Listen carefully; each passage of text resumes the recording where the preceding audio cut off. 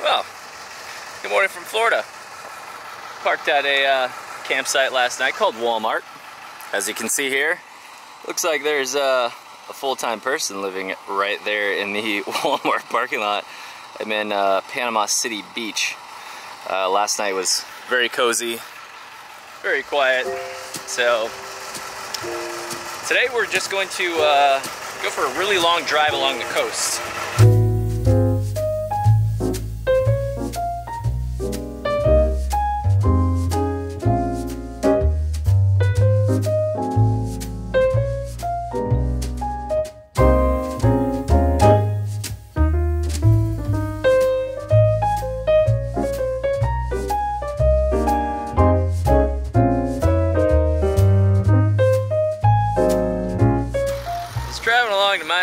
Business. and I spotted something super, super strange. At least for me, and perhaps for you too.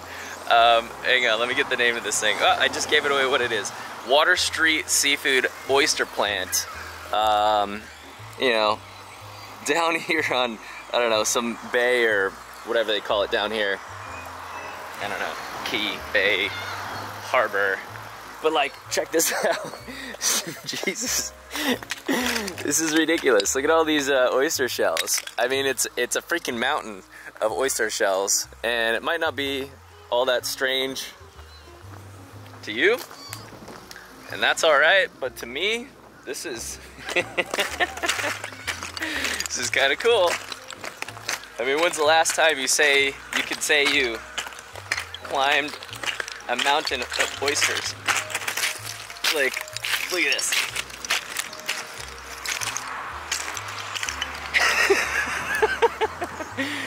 oh man, I don't know. I find it amusing. By the way, I'm standing on a bunch of calcium carbonate. I think that's right. Calcium pills. That's that could actually be where these things are going to. It could be going to some supplement factory. Smells good though. I like being around the ocean. Hmm. Anyways, just thought it was interesting.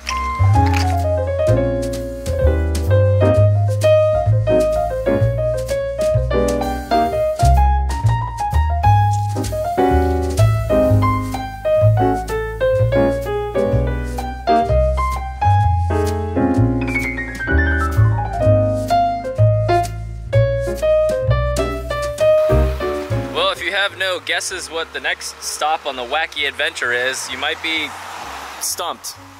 Or, I don't know, logged. Since it's technically a log. This is Big Charles. Uh, it, uh, long story short, it, it, it was found uh, floating through a river.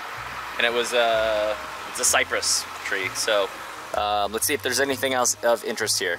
Oh, that's interesting. Um, weighs approximately 15,000 pounds and is thousands of years old. It seems that it was cut a while ago and then it was stuck in the mud, so it was actually preserved for a really long time. And it's over here at a furniture and art gallery. So, uh, you know, if you're uh, in the middle of nowhere on uh, in Florida, you know, stop and say hi to Charles. A log. Next interesting fun thing I've uh, found, roadside thing of interest, is the uh, world's smallest police station in the city of Carrabelle. Uh, long story short, it's a phone booth, and uh, before they had a lot of phones uh, around town, or I should say cell service, um, better technology and radios, uh, they would use this phone booth as the, um, the call center because they didn't have a uh, police station. So they could. It's a very small town of like 1,200 people, so they could pretty much see everything going on in town from looking to the right and to the left. So this is kind of like a little reminder, a little uh, trinket from uh, from a forgotten past, and uh, there's a whole history of it on the wall here. So uh, I'd say it's definitely worth a stop.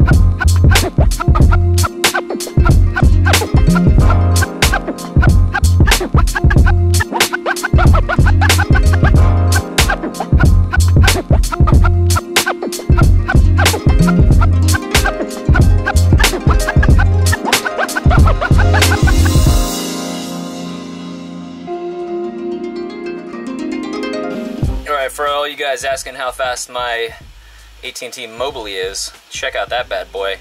It's about uh, halfway done and two minutes remaining. So that means a four, four minute upload. Also, for the past hour and a half, I've been trying to find my headphones. So if the audio is off for the New Orleans one, oh crap, I forgot to do my audio fix. Three. Three times I've tried to export this uh, video. First two times I bumped my external drive, this guy, and then it force ejected the whole thing. But, uh, uh that's my Monday. How's your Monday? Or Tuesday, Wednesday, Thursday, Friday, Saturday, Sunday. Whenever this video comes out, how's your day going? yeah, sometimes, you know, just get off to a little bumpy start. I don't know if I mentioned this, but I'm going to pick up my buddy's dog, who's uh, buying the bus, and then uh, have a dog with me from Tennessee. It's up by Asheville, Tennessee, all the way over to uh, Portland. I'm to take the high road. I don't know what states I'll go through, but I would like to go through Colorado, probably over to Salt Lake, and then Idaho, uh, you know, that little uh, freeway over back over to Portland. So, um, yes, it's going to be a fast-paced couple weeks, but um, it's going to be fun. This next chapter of uh, me and traveling and, uh, yeah, and YouTube. We'll get more into details later, I guess. Uh, there's people, you know, always asking so many questions, so just like driving and vibing, I think I should do like a Q&A type video because I get asked the same question over and over, and it's probably better to do a video about it um, so that people, yeah, so I can, because I'd really like to share the information that I have so far. I just got a question um, this morning, was like, how did you become successful on YouTube? And I don't even think of myself as successful on YouTube. I can't even like pay the bills yet. But um, yeah, I can I can say how to get to 20k basically. Um, and uh, yeah, it's uh, a lot of hard work and consistency.